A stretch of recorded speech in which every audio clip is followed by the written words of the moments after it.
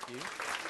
Thank you. Um, it, it's, it's great to be here in Cardiff today. Um, I'm going to talk to you about the difficulty good, moderate people like everybody in this room have now communicating in an increasingly difficult, complex, extreme, populist world, and hopefully offer some humble solutions about how you might operate in the world that you're going out into.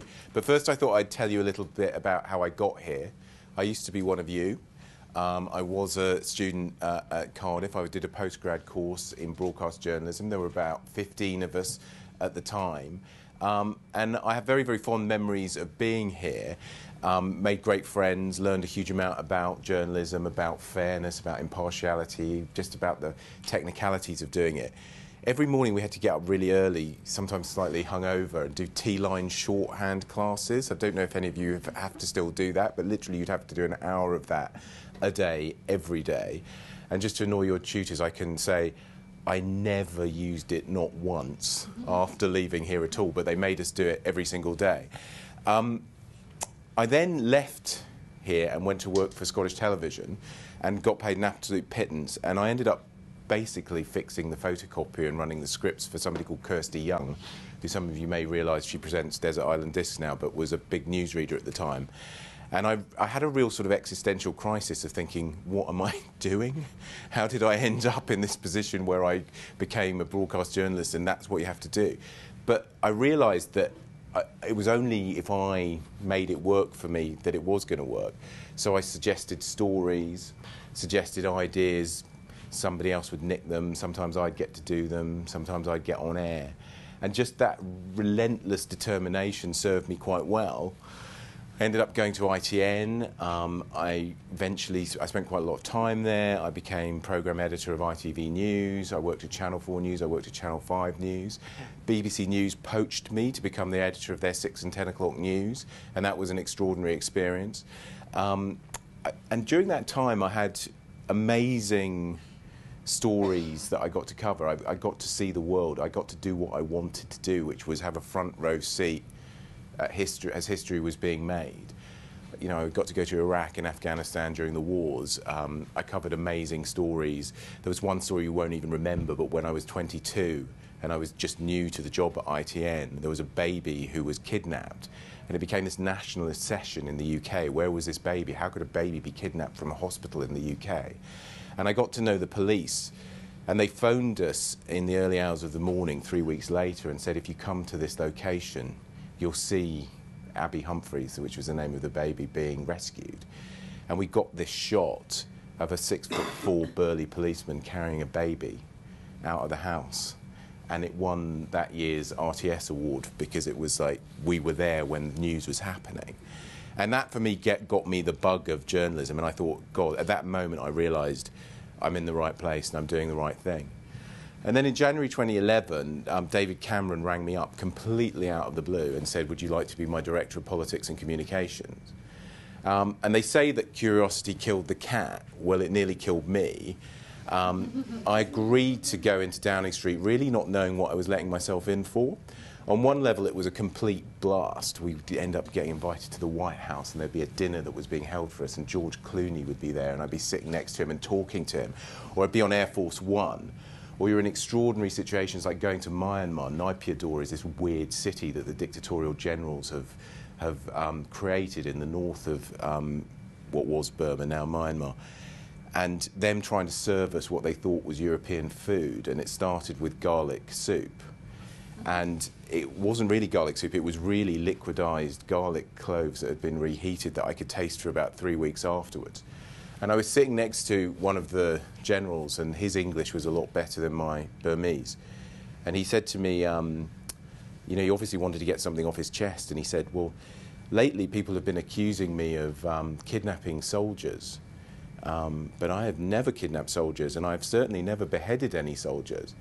And I was thinking, I wasn't thinking that you had done either of those two things until, until, you mentioned it. But anyway, those are two just things that occurred to me, like just the bizarre experience of being in Downing Street, and it was a great experience.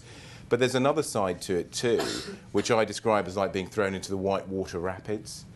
Um, I was expected to be across everything from moment one, and no allowance was given to me being new to the job.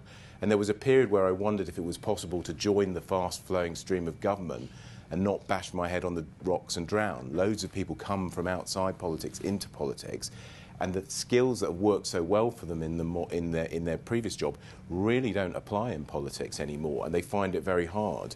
To change metaphors, I soon realised I was an unwitting frontiersman, entering a world where traditional ideas about how we communicate were changing irrevocably and at lightning speed. And I want to talk to you about how I think that's the wor world that you're entering now. It was clear it was a place where the task of a communications professional had never been harder. When I first entered journalism, people lamented the fact that the old certainties of a news cycle with fixed points of morning newspapers and evening news bulletins was being overthrown by 24 hour news. People warned that the concept of breaking news, which is the very essence of 24 hour journalism, was in fact breaking how we do the news, meaning precious thinking time alongside the ability to research stories had been destroyed in the headlong rush to be first how naive we were. When I entered Downing Street, it was clear that the era of 24 7 news was comparatively easy, replaced by something more like 3D 360 media culture, where news can be coming at you faster than you can think, and the next deadline is the amount of time it takes somebody to bash out a tweet. To make things worse, it was a clear political campaigning, and its reporting had become an increasingly unedifying sight. Fearing being drowned out in a world that demands rigidity and adversarial comment, stories were more often being reduced to the most basic, frequently no more than mudslinging. Arguments were reduced to a simple core that paid no heed to nuance, no quarter given, because to do so was to open yourself up to the accusation that you admit you are wrong. Partly responsible for making the bed it had to lie in, government was hopelessly ill equipped to deal with this when problems hit, and they were constant, the sheer act of convening a meeting of the key players, each demanding a say in the latest turmoil, could be torture.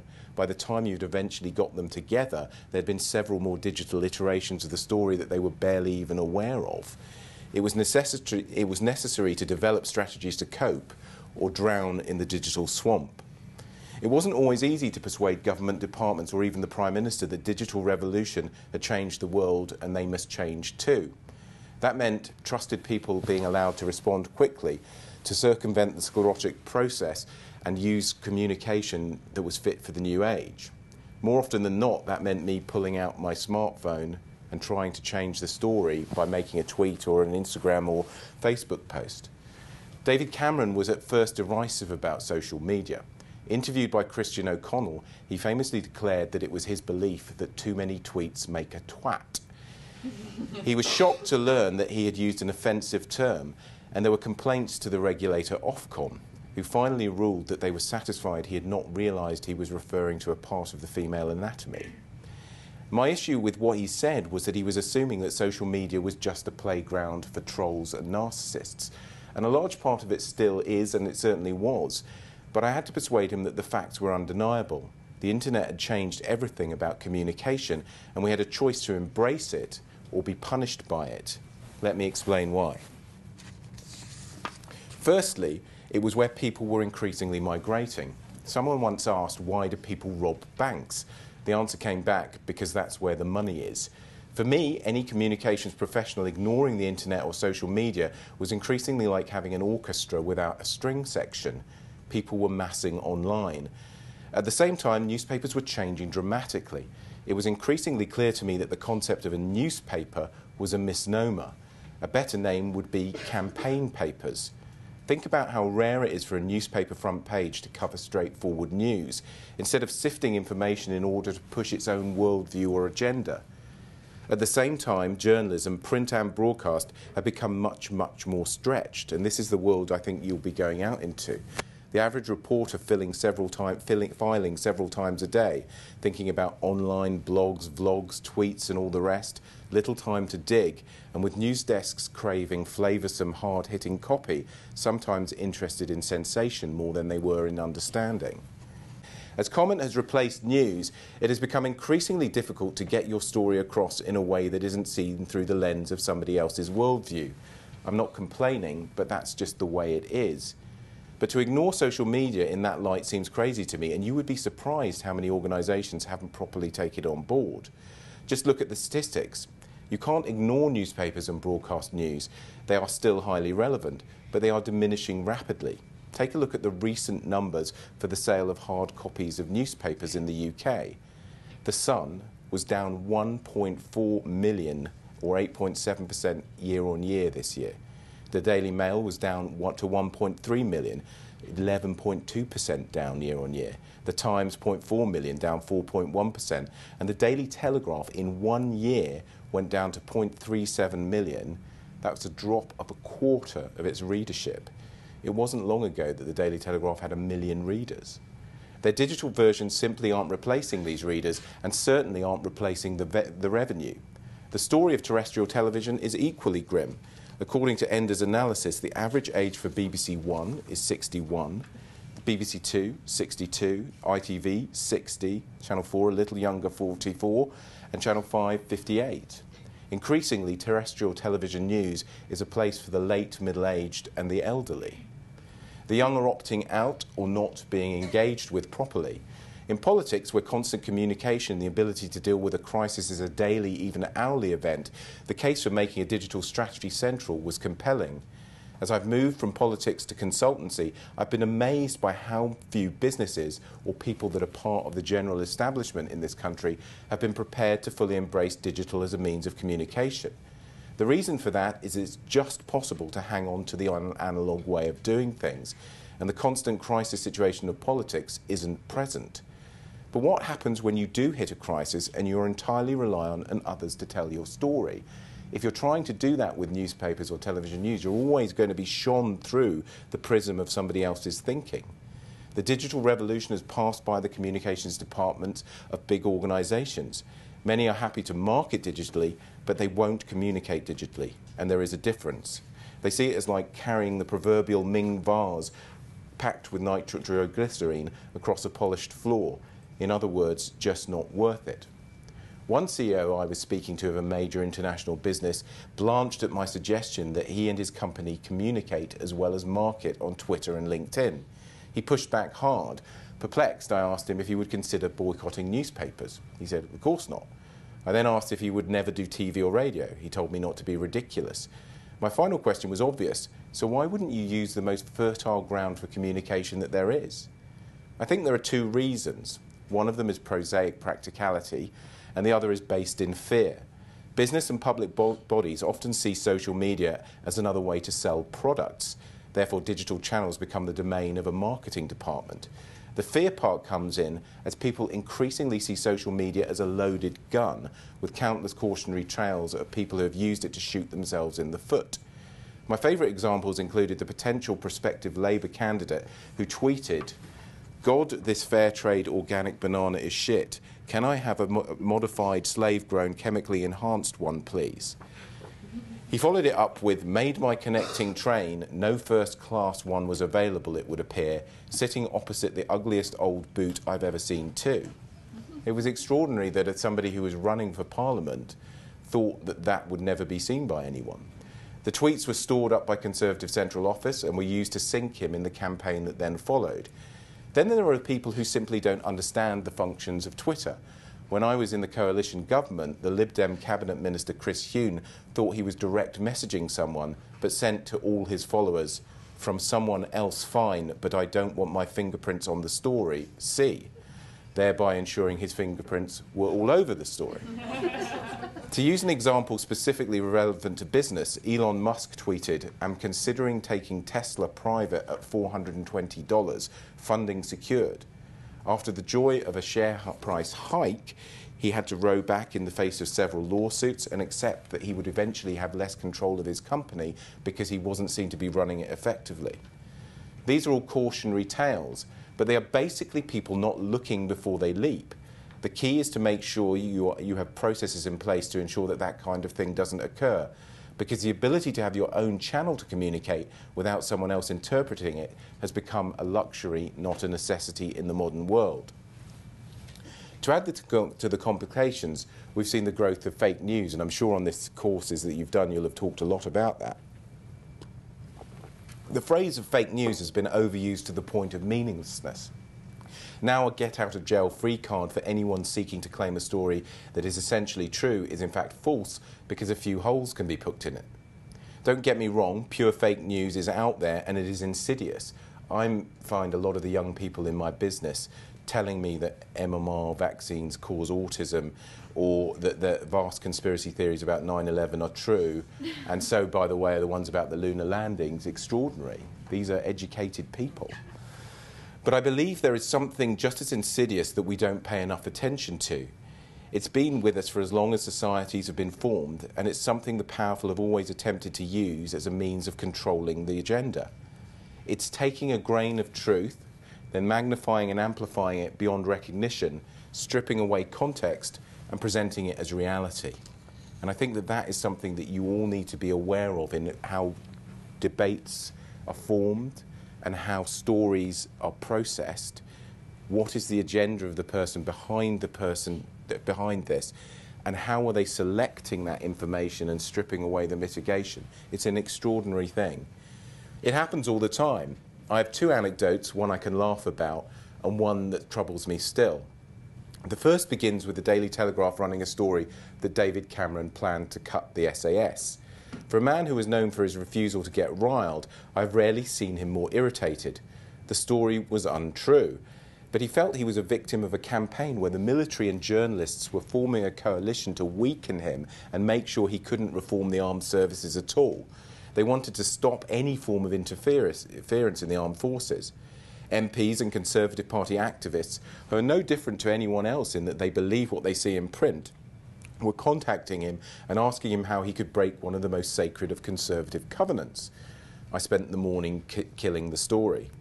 And by the time we were due to get on a plane for a trip to Libya, Liberia, and Algeria, I had thought it was dead. We were due to go to the back of the plane for the traditional huddle with the media, which is always one of the worst parts of a director of communications job. The Prime Minister directly in front of a pack of journalists who can ask him anything. And I was telling the Prime Minister to leave it alone. He really didn't need to touch this story anymore. I'd killed it, nobody else was going to follow it up. He agreed that he wouldn't mention it. But the first person he saw as he approached the back of the plane was the Daily Telegraph journalist who'd written the story. Dripping with sarcasm, he congratulated them on their scoop. He went on, but you missed two very important details. I'm also going to axe trooping the colour and get rid of the red arrows. Now, for foreign people in the room, trooping the colour is um, the Queen's birthday, and the red arrows is a stunt jet thing that no Prime Minister would ever cut. He was, he would, they would never do such a thing. He was saying it to say your story was rubbish. And with that, he turned on his heel and walked back to his seat. I was a little flummoxed, thinking, thanks, Dave, um, but was forced to say, for the avoidance of doubt, the Prime Minister was using irony to make the point that the original SAS story is not true. It was a joke. Please do not pretend it was serious. As we swept across North Africa, news reached me that some of the hacks were planning to write the story. I found them and said it would be a deliberate lie. When the trip finished, our plane was just arriving into Heathrow, and as it did, as you come into airspace, my, my smartphone came alive with all of the different stories that were being covered from the trip. And the first one that came up was the front page of the Daily Mirror. And there was a big picture of the Red Arrows doing a stunt, and underneath it, Red Arrows face axe. Secret Prime Minister's plan to axe stunt troop. I unbuckled my seatbelt and started walking to the back of the plane, and the stewardess was shouting at me to sit down, that this was highly inappropriate. Later, I called the editor and I told him that it was a straightforward lie, and it was extraordinary to see that on the front page of a national newspaper. He started by trying to take refuge in the fact that the Prime Minister had, in fact, said this was the case. I told him if he told, tried that one, I would say that it was, um, it was a lie and I would take the unprecedented step of going out and saying that to everyone. He asked me to leave it and that he would fix it in the next day's newspaper. I got up bright and early and got a hard copy of the Mirror and I turned through it, page one, two, three, nothing, eight, nine, ten, nowhere, 19, 20, 21, nothing. Finally, I reached page 27 and there was the story proclaiming victory for the Mirror's campaign to save the Red Arrows. The claim was that David Cameron had immediately buckled under the awe inspiring power of the Mirror campaign.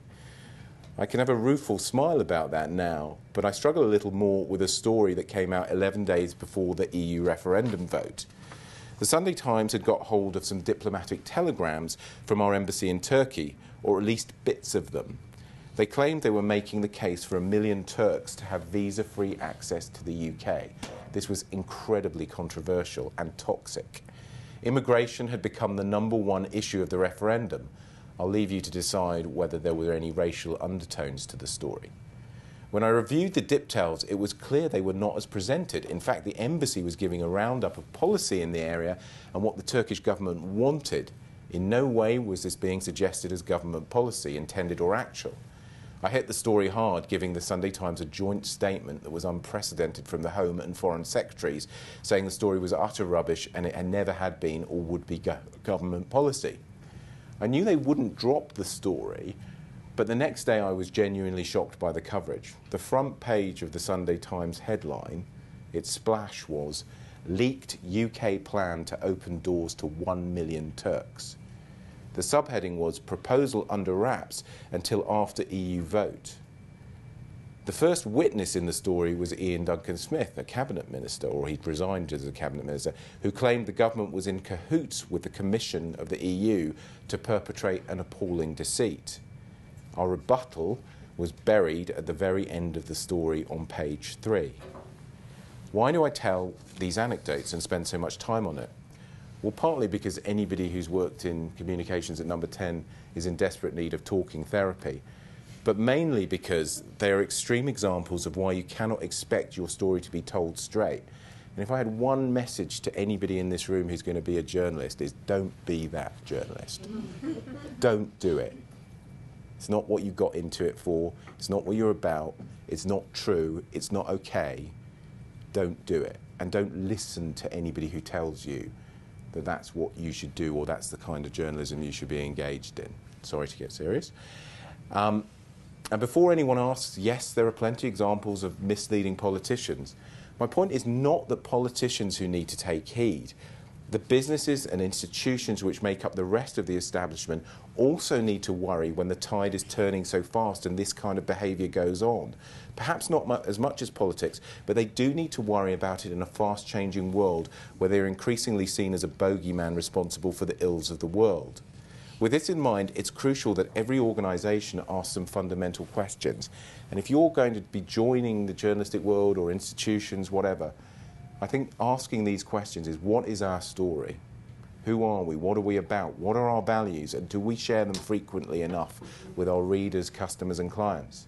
Are we telling our story, or are we just trying to fend off the negative image others portray? And if we could somehow, as if we could somehow defend ourselves to glory. With some honourable exceptions, there are too many that are not doing any of this or asking any of these questions, but aren't and aren't fit for purpose in a digital age. Because the truth is, you're entering a world where you have to fill the vacuum or it will be filled for you. You have to tell your story or it will be told for you. This isn't easy. It involves risk taking, moving out of your comfort zone, and that is made harder by the final area I want to talk about today before you can ask me some questions. We're living in a world where the old rules no longer apply, but many still cling to them. I think looking at young people in a room, that, that, that, there's this assumption in terms of people who run the country and maybe even run these courses that, that there's a certain rule to how life works, that there's a conventional pattern of a successful life, which is get educated, work and earn, and retire.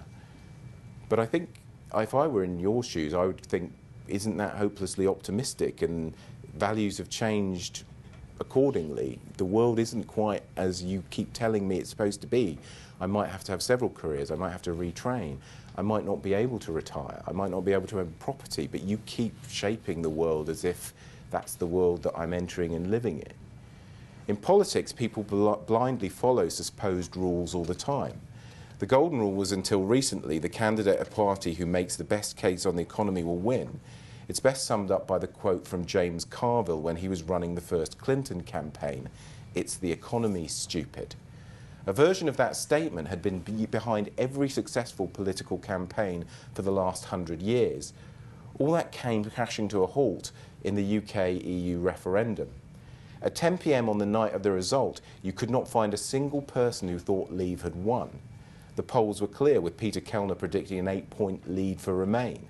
The currency markets were buoyant, and even, even Nigel Farage was um, saying that he was conceding that he'd lost. Then the very first results from the northeast of England came in, and they pointed to a shock. Areas that would almost certainly be badly affected by leaving had voted out. Wales voted out. It was clear from that moment Remain had lost, and the normal rules were no longer applying. It was a real shock to the political class and the establishment.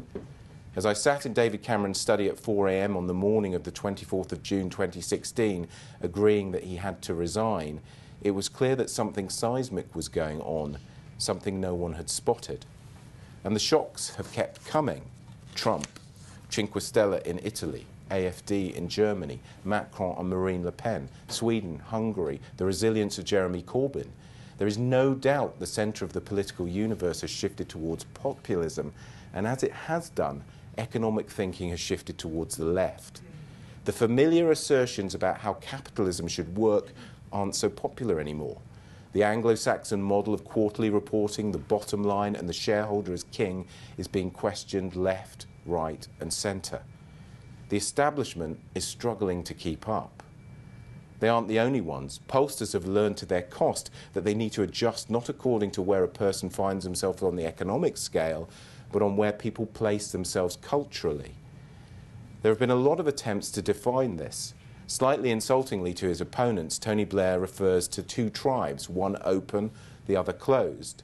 David Goodhart wrote of anywheres, metropolitan, liberal, university educated, open to the world, but unrooted, and somewheres, the more locally rooted, for whom national sense of pride is everything. Others say globalist and nationalist. Whatever the best way to describe it, there is a deep schism in developed Western economies between those who are comfortable with the modern world and those who are not. And the establishment had better find a way to navigate it. Metropolitan liberals like me were convinced that the arguments over globalization and immigration had been won. They hadn't been and a vast number of elections have shown how to varying degrees people have revolted. All of this requires some serious thinking from people who are entering a communications business. There's no signs of things becoming more stable. I've just read Yuval Noah Harari's follow up to Sapiens and Homo Deus. It's 21 lessons for the 21st century. And it can be summed up as Brexit schmexit.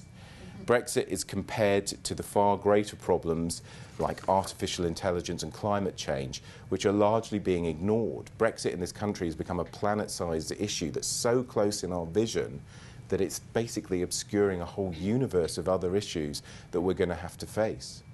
The former Foreign Secretary William Hague points out that the most significant speech of the last 20 years was not given by a Western politician, but by China's President Xi at last year's People's Congress.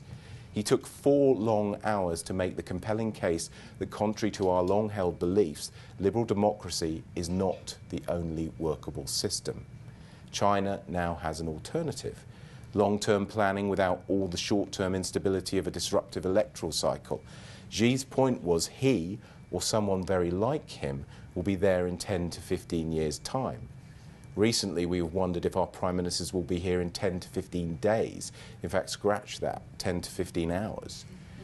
Brexit, AI, climate change, the rise of China, these are massive topics. What have they got to do with the people who are studying journalism, communications, and politics? Where people wonder just how they're going to keep the show on the road and help, the, help our society to prosper. I just want to take a little moment to summarize and explain what I'm trying to say. The world is changing at an alarming pace. Many are deeply uncomfortable about that. The establishment is being blamed. The establishment must change its communication strategy. You guys are essentially entering a world where you will be part of that establishment, whether you like it or not, or you never thought you would be in that establishment. And yet, too many organizations haven't begun to grasp the basics of communicating in an incoherent world. Have we worked out our position in a world in flux? What do we have to say to people, particularly young people like you, who feel that the way things are in general is actively contributing to their problems? Do we know how to communicate properly in a digital world? Are we horribly and hopelessly behind the curve? Let's try to end this by bringing some clarity. This is no time for faint hearts. The world is changing at an alarming pace. You will be at the centre of it. Our national and international debates are increasingly the preserve of ideologues, fanatics, tribalists, and cranks. To quote William Hague again, the bull is in the china shop and the display cases are crashing all around us. What do the quiet and reasonable have to say about this? What will they do when it is their turn to take charge? It seems to me universities need to take up their role as the voices of reason and free speech again. Business needs to make the case for the contribution it makes. The establishment needs to stand up. That means refusing to duck beneath the parapet or hide in the shadows, fearful of being singled out and criticised. I'm not advocating commenting on every issue, but I do believe it's time to present a countervailing narrative to the one that says we are hopelessly out of touch and that the only solutions are populist ones. It's time to realise silence has a price. Vacuums are filled. If you don't define yourself, others will define you. The Brexit referendum was a case in point.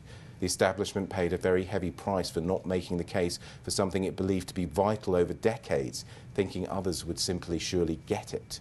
They didn't. The ostrich posture failed, as it always will do. We have become too used to letting others speak for us. Too many of the people who speak up now have chosen divisiveness over compromise and cohesion. Those aren't bad words, although you often think that when people are talking about them that they are. Compromise and cohesion are vital. And they may just help us to save things that were fought over for many generations and we've taken for granted for too long.